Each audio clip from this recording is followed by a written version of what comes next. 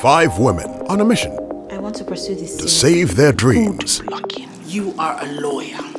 We have spent enough money to make sure of that. You always said I could be anything. Their careers Anything I wanted. And I meant that metaphorically. I want you to come work for Do's or Do's. You are not welcome here anymore. We cannot fight for fairness and equality for fear of being tagged feminist. If you think you cannot adhere to simple directives, let me know. She has her housekeeper around. It's not as easy. So you find a solution. their relationships, Pour que je puisse aller travailler pour ramener l'argent dont tu as besoin pour payer ces hôtels. Parce que tu penses que tu peux le faire Parce que tu es ma femme et que tu... et donc je n'ai plus droit à aucune opinion Yelo Pèppè, a story of romance, drama,